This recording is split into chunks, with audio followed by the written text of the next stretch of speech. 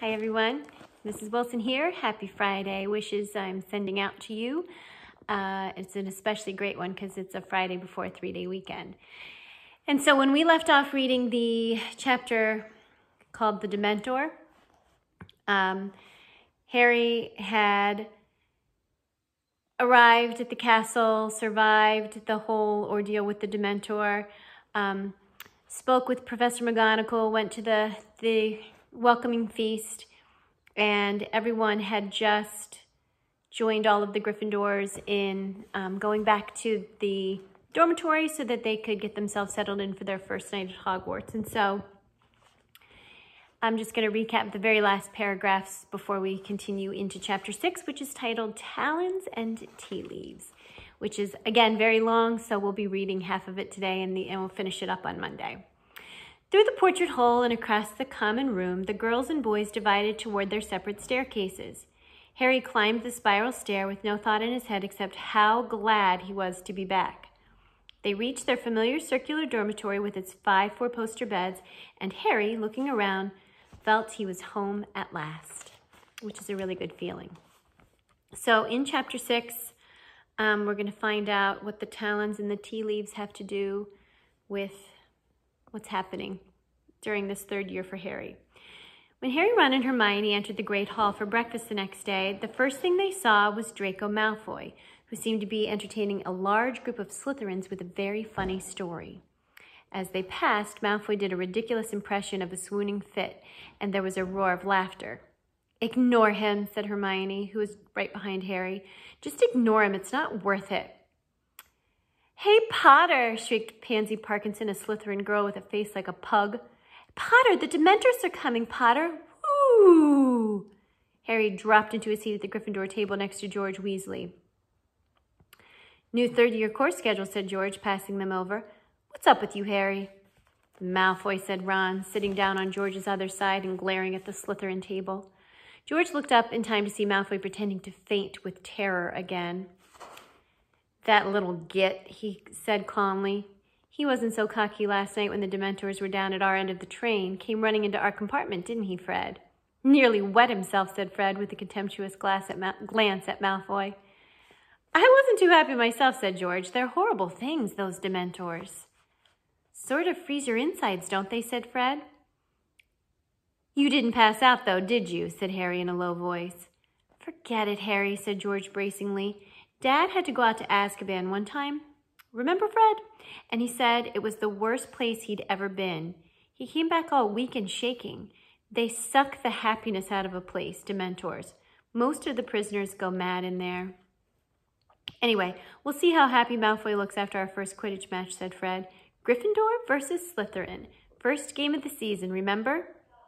The only time Harry and Malfoy had faced each other in a Quidditch match, Malfoy had definitely come off worse. Feeling slightly more cheerful, Harry helped himself to sausages and fried tomatoes. Hermione was examining her new schedule. Oh, good. We're starting some new subjects today, she said happily.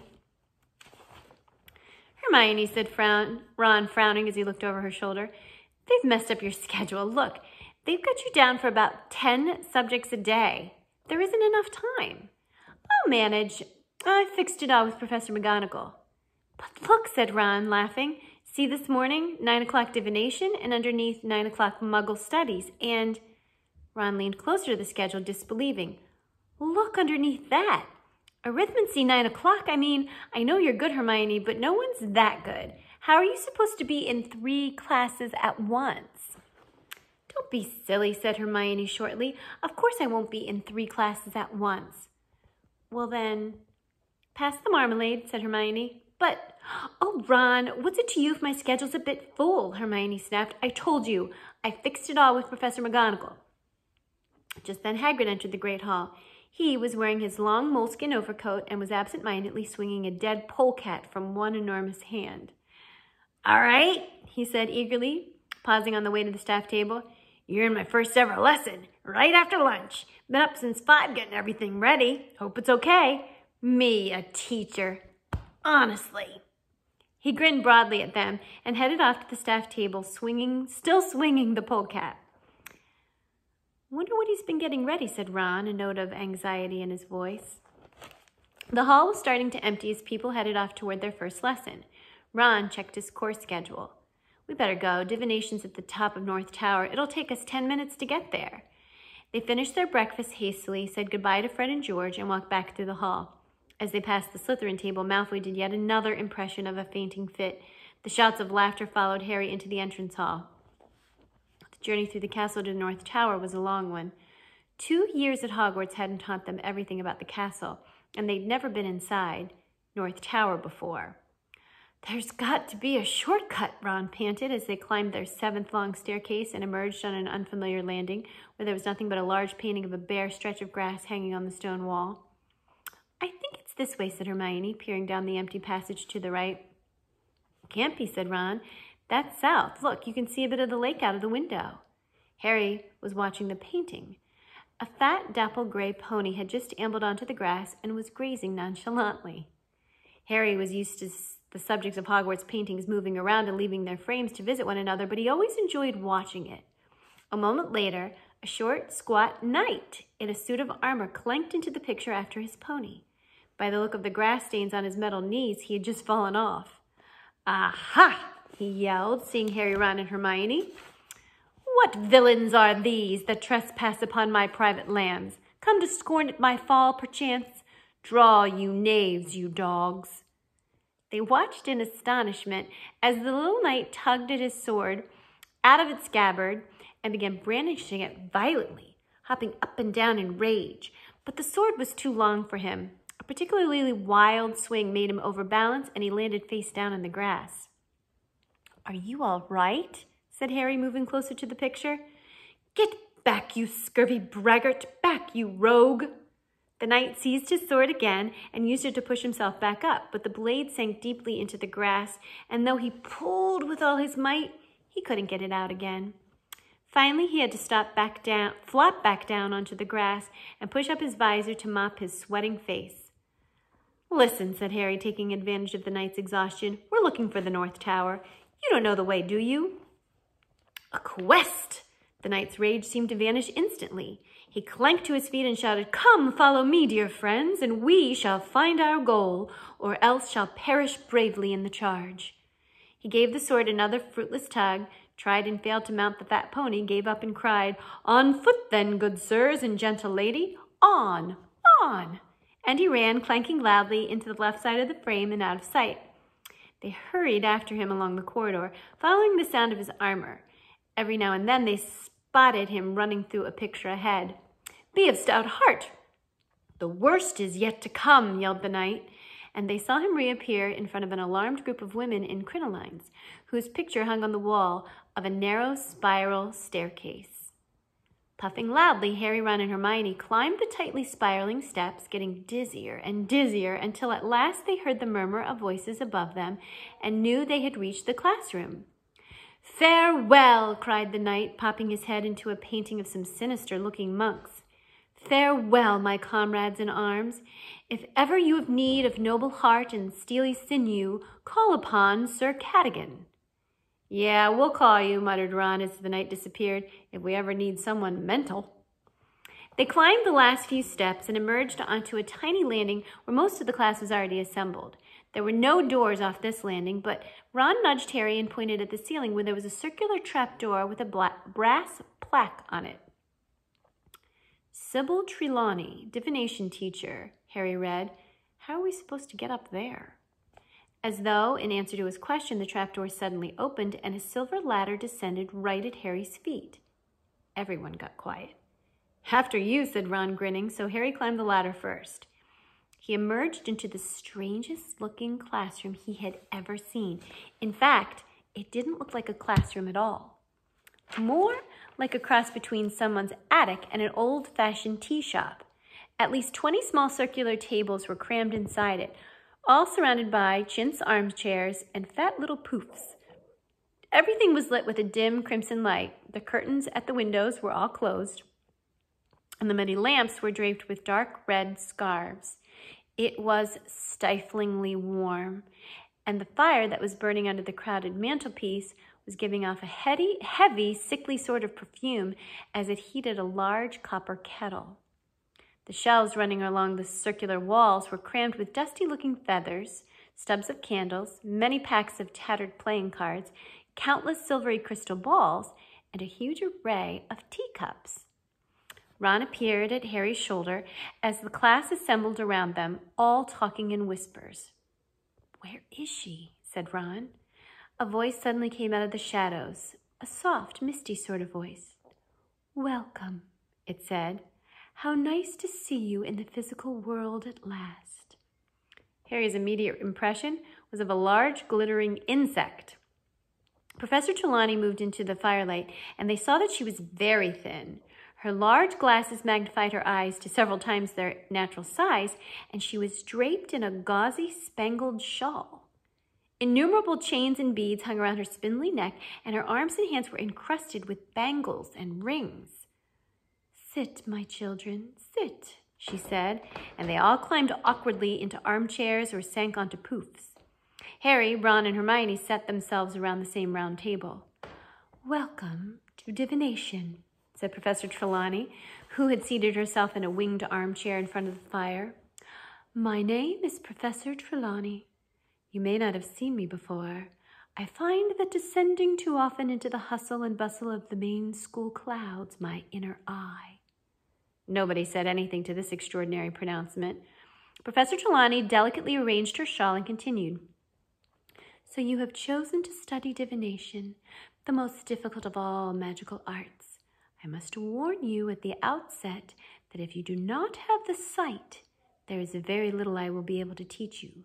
Books can take you only so far in this field.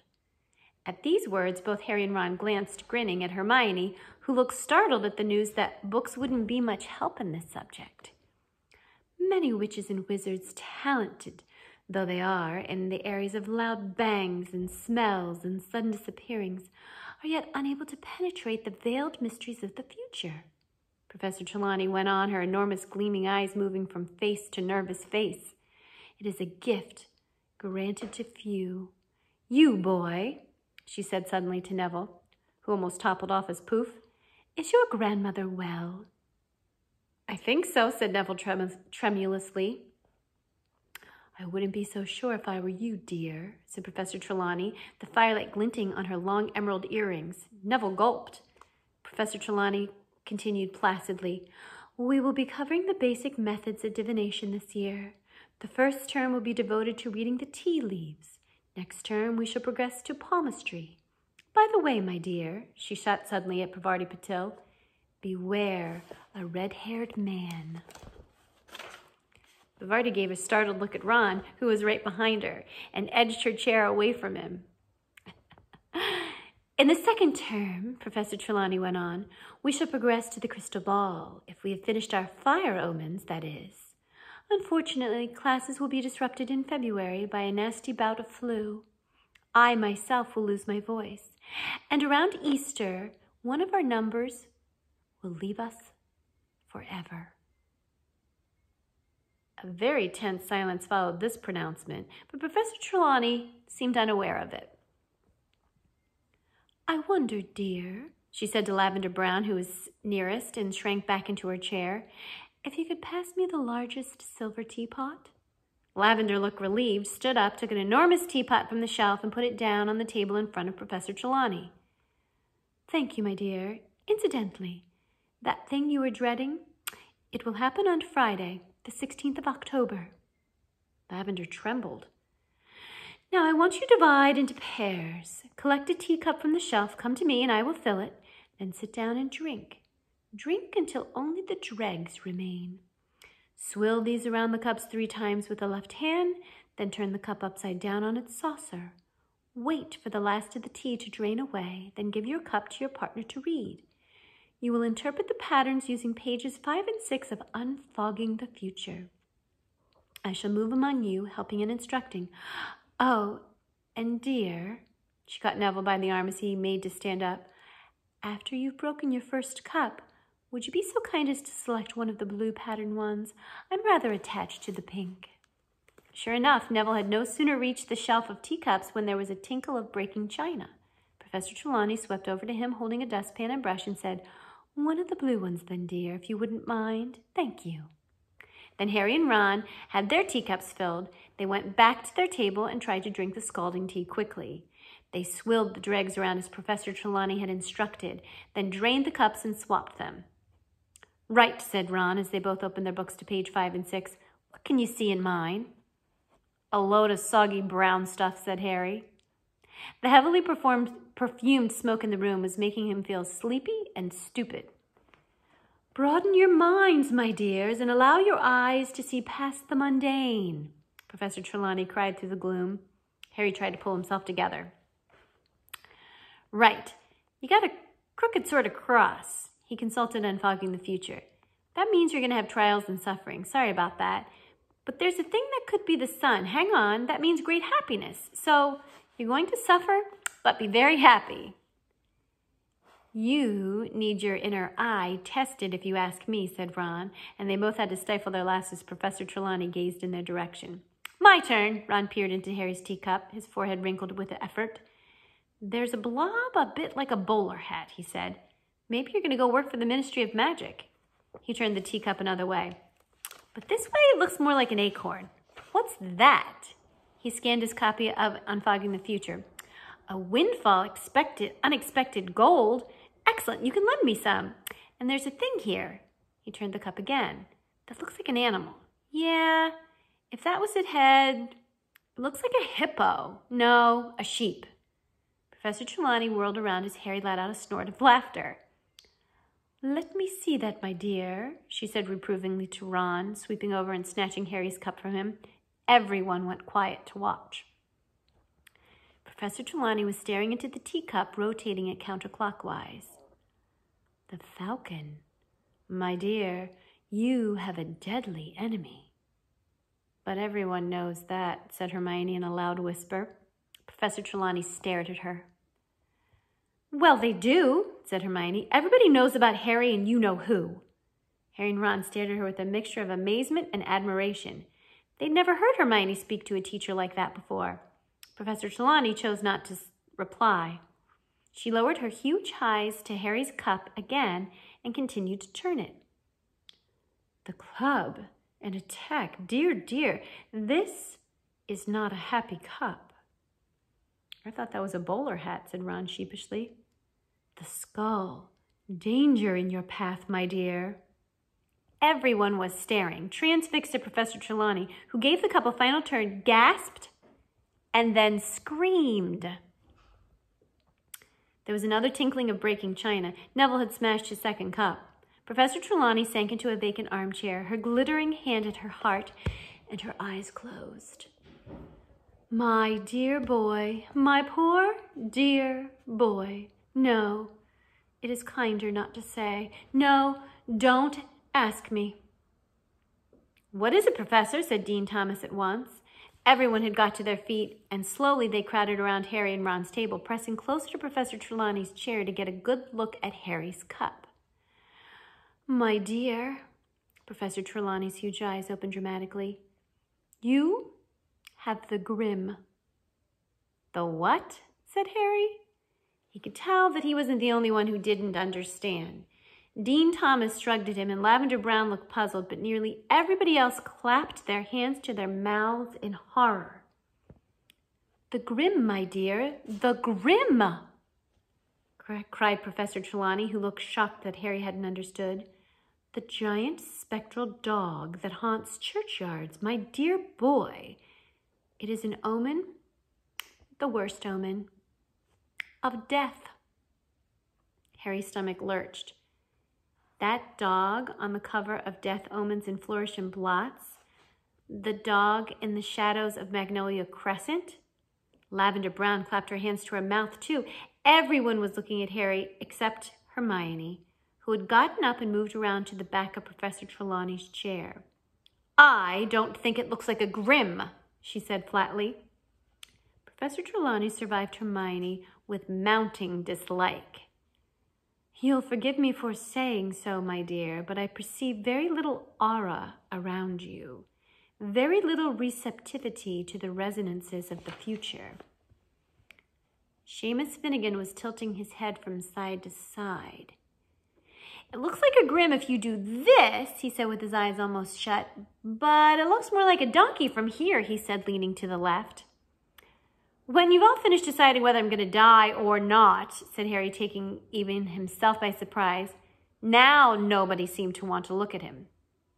Oh, I think we will leave the lesson here for today, said Professor Trelawney in her mistiest voice. Yes, please pack away your things. Silently, the class took their teacups, teacups back to Professor Trelawney, packed away her books, closed their bags. Even Ron was avoiding Harry's eyes. Until we meet again, said Professor Trelawney faintly, fair fortune be yours. Oh, and dear, she pointed at Neville, you'll be late next time, so mind you, work extra hard to catch up. Harry, Ron, and Hermione descended Professor Trelawney's ladder and the winding stair in silence, then set off for Professor McGonagall's transfiguration lesson. It took them so long to find her classroom that, early as they'd left divination, they were only just in time. And that is where we're going to leave off in the chapter.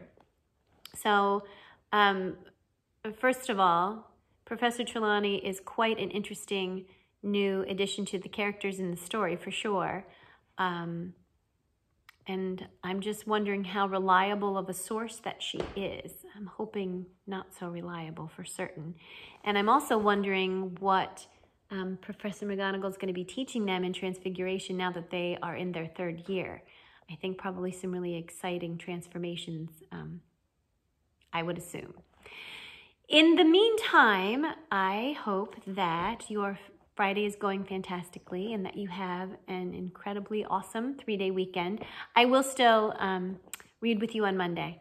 So um, we'll take a little break over the weekend and then I shall see you guys back on Monday. And until then, I will be counting the minutes. I can't wait to read together again. Take care. And happy Memorial Day.